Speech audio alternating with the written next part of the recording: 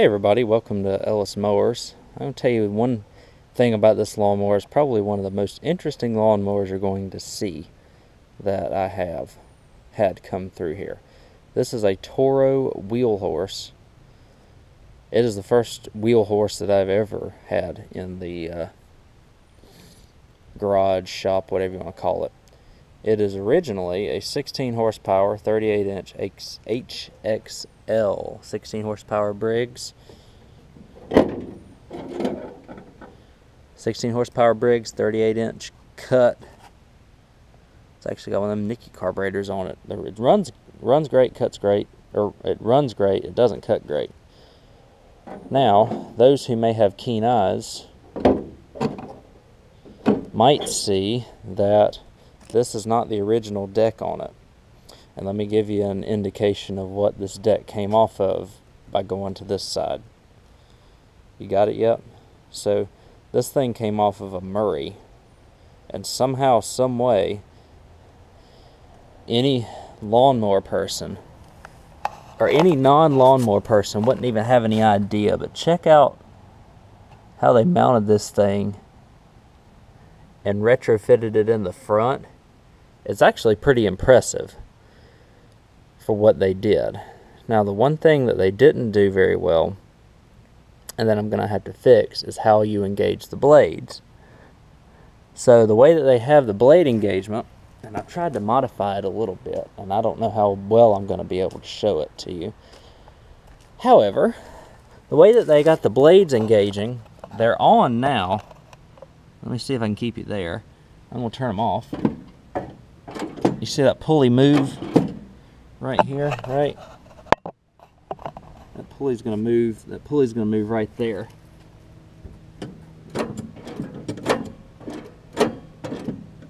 So, so the blades are on, the belt's still a little loose, but the problem is the way that they have this thing going is that the springs are not uh, tight enough to disengage the blade brakes on it. And so it's fighting the blade brakes.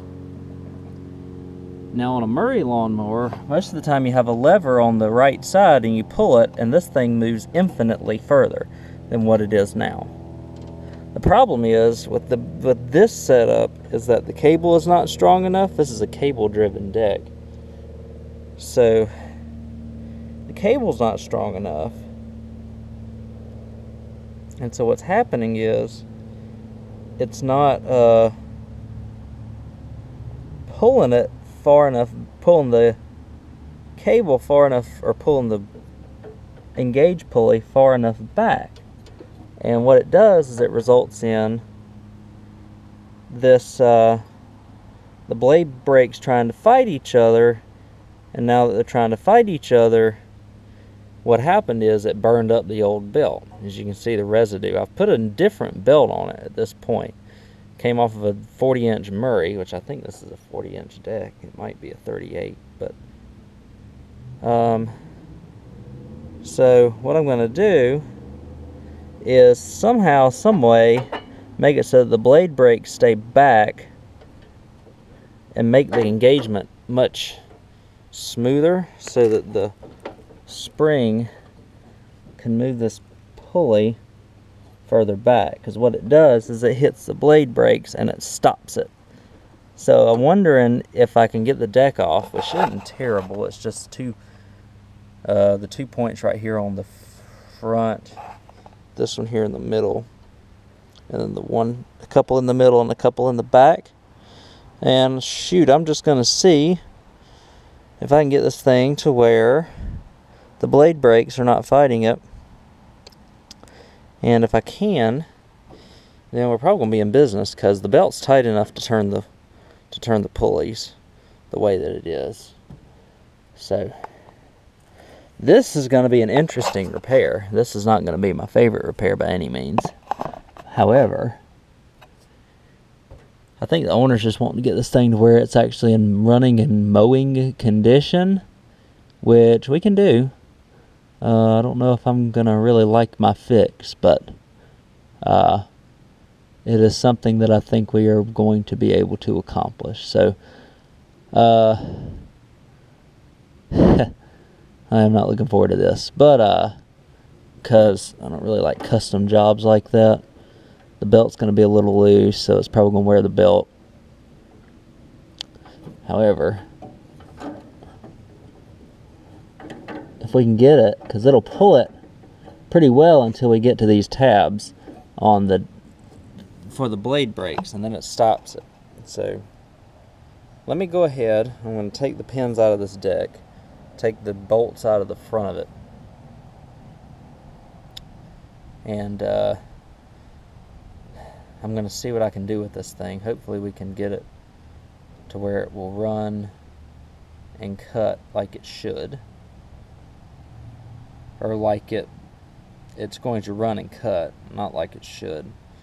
But let me go ahead and get this deck off and we'll see what we can do.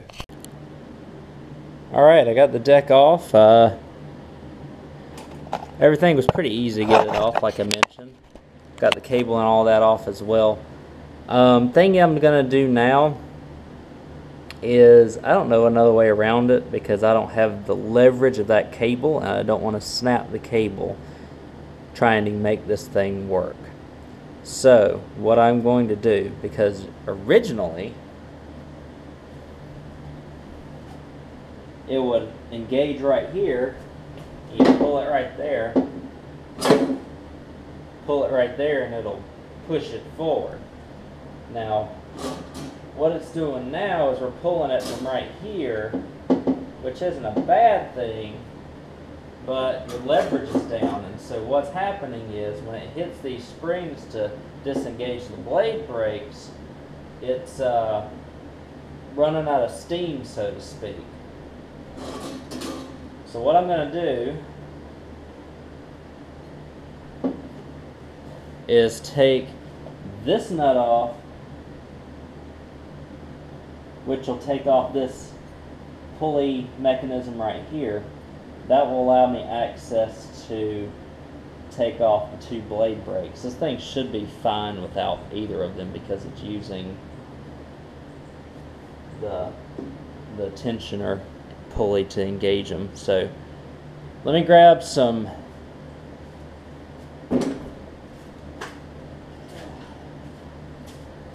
wrenches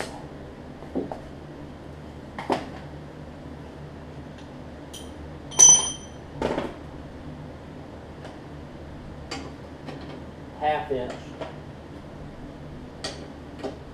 There is something on the bottom as well to take off. Might have to put a nut on the bottom, let's see. Yeah. Gotta put a wrench on the bottom of it.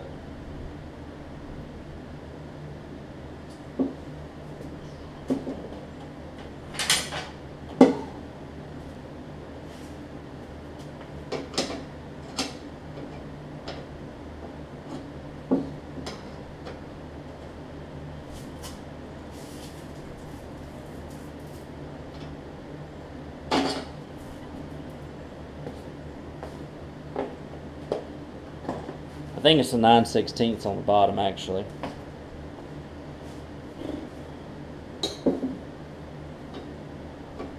Yeah. Alright.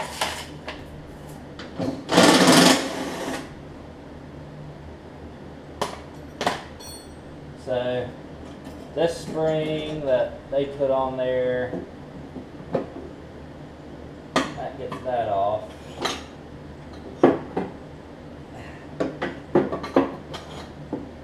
I'm just going to take these blade brakes off. Same way.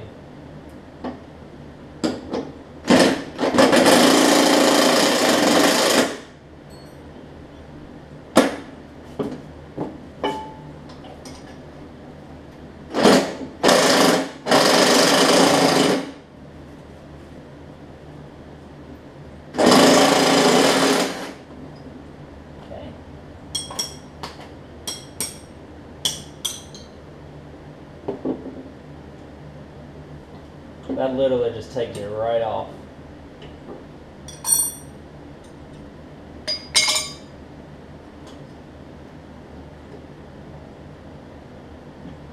Because I'm thinking, shove that right there. Need it anymore.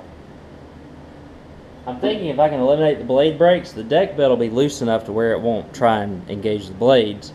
I already know that.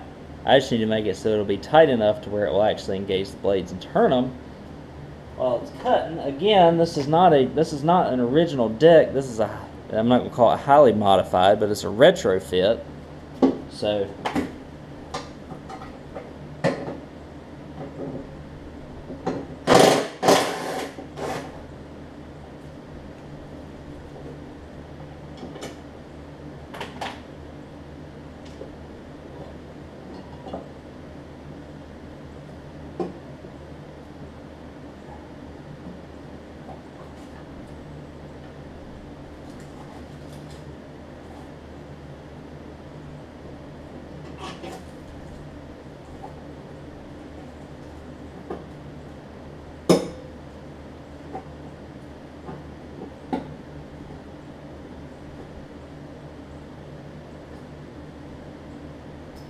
All right. So now,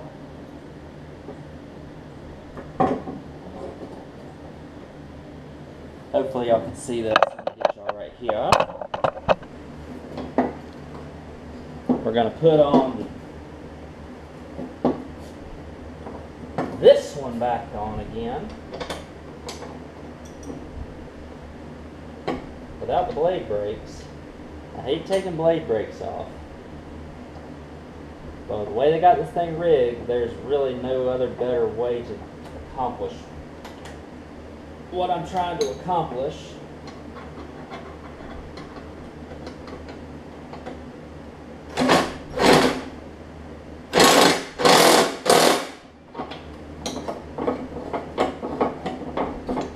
Thing's got unlimited travel now.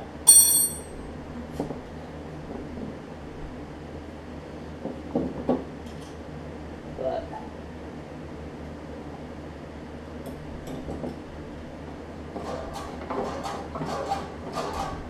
I like the concept that the guy dreamed up, whoever did this. And the execution wasn't all that bad, but you can see it wore the mess out of the blade brakes trying to do it.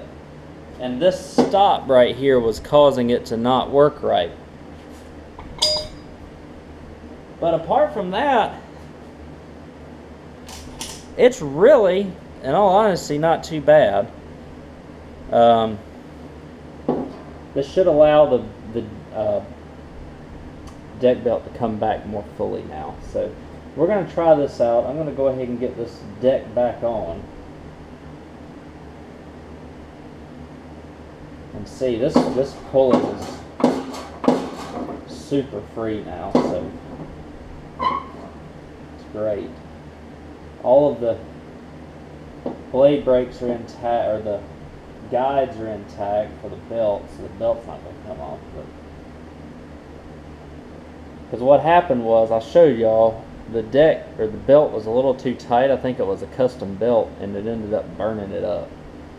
Because I tried to get it to work, and it didn't. And burn up the belt. So, let me get this thing back under.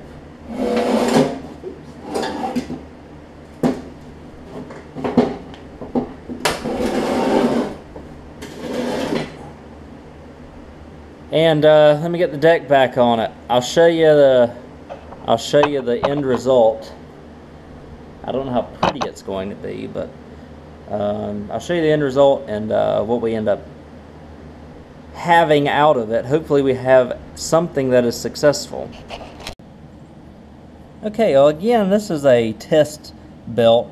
This mower is, I don't know if you can see that, 40 right there. This is a 40 inch Murray deck. I did not know if it was a 38 or a 40. But so they gained two inches on uh, whenever they switched the deck here. Let me show you the travel between of the pulley now if I can.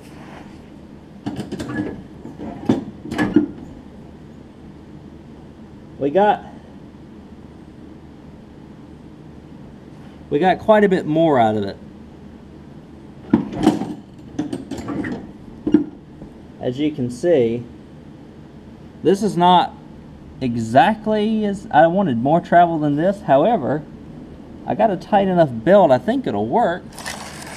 So let me put y'all on the tripod real quick. I'll crank it up, we'll get it out here and we'll see if we can get this thing running. Running and driving and cutting.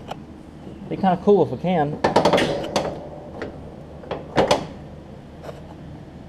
I think it's really high on that side. I'll have to adjust that real quick. We'll just put it down at like B first. Alright, let me put y'all on the tripod.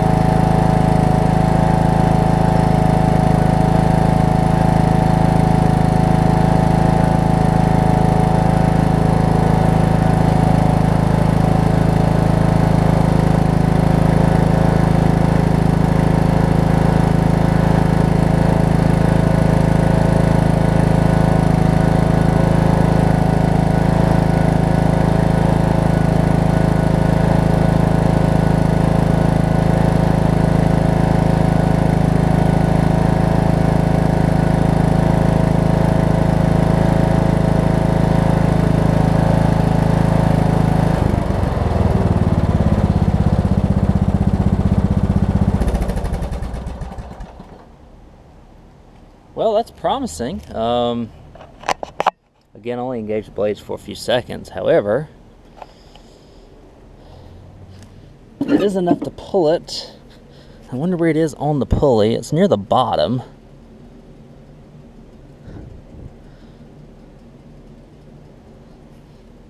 But again, if I pull it this far up, yeah, it's still going to try and do that on the bottom of the pulley there. Hmm.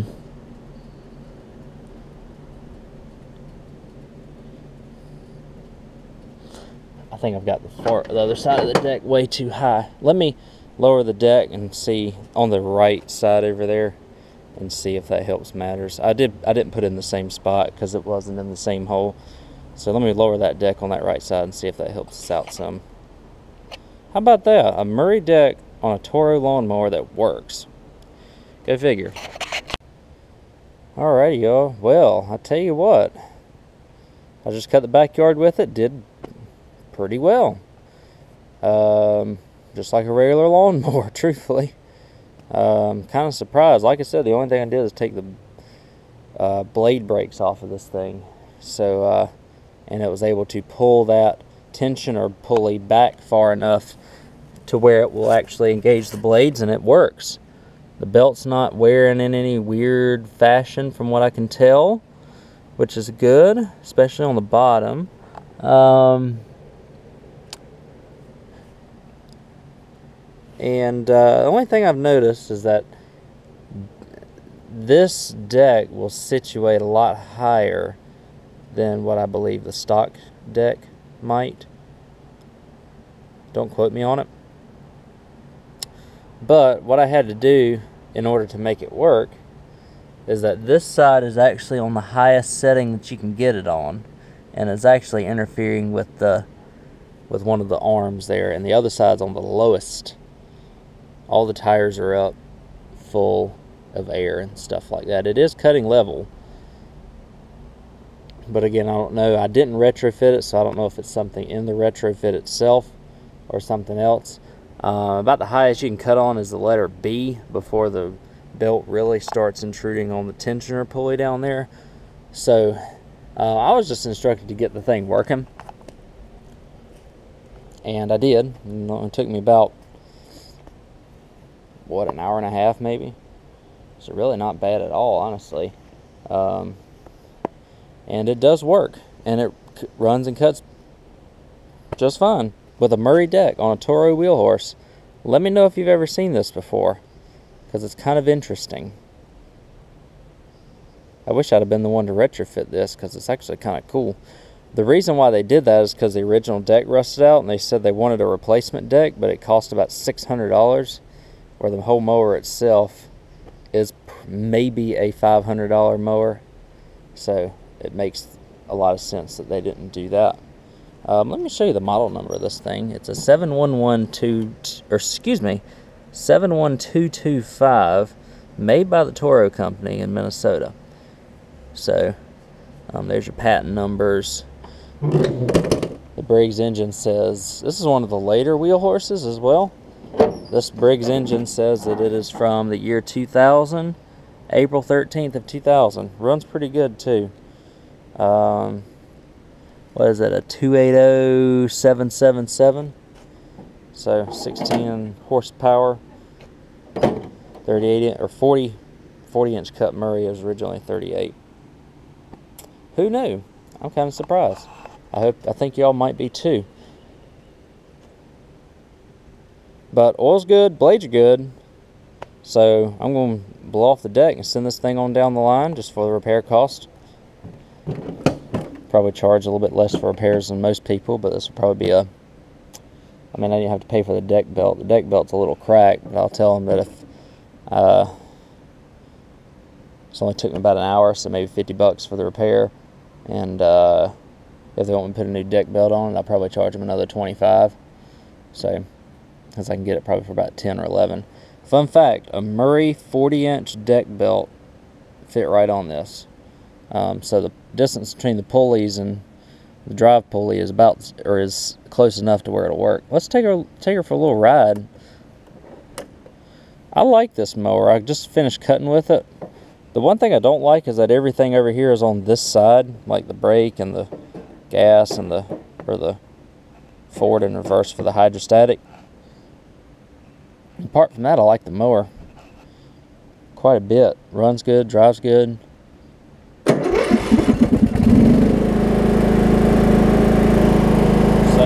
we're just to blow some of the driveway off with it. And it actually has a, a uh, reverse switch, which is actually down here. I'll show you how to use it. I just all you gotta do is turn the key and it'll ignite the light. So here we go. Again, no higher than B.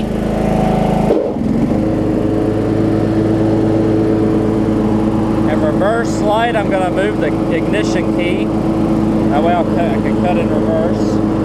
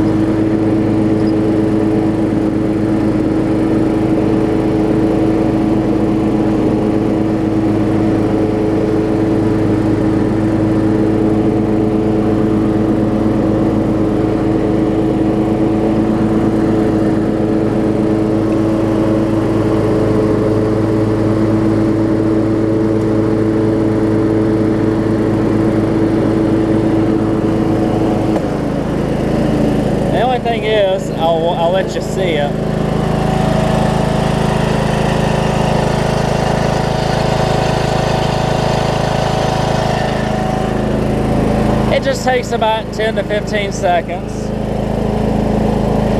for the brakes or for the blades to stop. They do stop, they don't perpetually turn. Go ahead and back this in the garage for now. Clean it out a little bit later.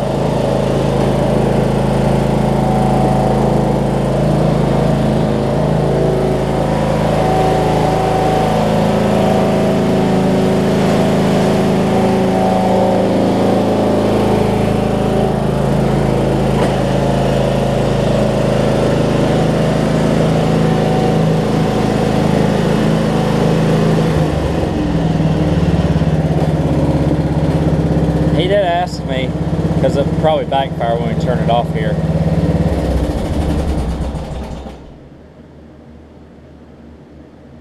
It did not.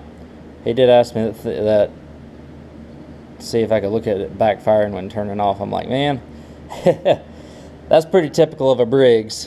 It's still got it's got the little switch on the solenoid for the um, anti-backfire. Can't think of the words sometimes, y'all. Sorry. And uh, as you can see, I was trying a few different springs and stuff to see if that would help it pull it back any better. But again, the best thing for me to do was to take those blade brakes off. Did a beautiful job. Running and cutting great now. And we will uh, believe the owner will be pretty happy. Uh, I'm actually kind of impressed as well with the just got tools everywhere guys sorry so what I'll do I'll tell them look this is you know there's really no other good way because the the thing is I want to I want the blade brakes and everything to work. However the tension of that cable is a lot weaker than the initial blade engage on these things. Um, it's just a nice big lever with a huge spring on it that pulls the that pulls it back and it just doesn't work as it will never be able to pull those blade brakes off the way that it is. So that's a that's a look at it. I'm gonna blow it off before I send it to the owner. Again, it's gonna be a $50 fix. Took me about an hour, hour and a half, and uh, got to cut my yard with it. So uh, worked great. Again, if they want me to put a new deck belt on I'll charge them another $25, $30 to put that on because um, I can get the deck belt for about 10 or 11 online. But that's the Toro wheel horse with the Murray 40 inch deck. Um, hopefully some of y'all that want to retrofit a deck onto the, these, I know that they're known for rusting out, can find this helpful um, as to retrofitting it. Again, I did not retrofit it. I wish I did. That way I could show you how to. But whoever did, did a pretty darn good job. The issue was just with the cable and the blade brakes, the cable not being strong enough to pull the tensioner pulley out far enough to disengage the blade brakes. Take the blade brakes off. It's not it's not um, turning the blades while the engine is running, so I'm fine with that. Um, it, like I said, it just takes about what 15 seconds for the blades to turn off. So I hope y'all enjoyed this video. Thank you for watching as always. Nice little repair video here. Uh, this, uh, done a couple repairs so far this year. I don't really do repairs. You never know if this thing starts becoming a big deal with the channel and you know just volume and stuff like that. Then you never know. I might be ramping up some repairs. But thank y'all for watching.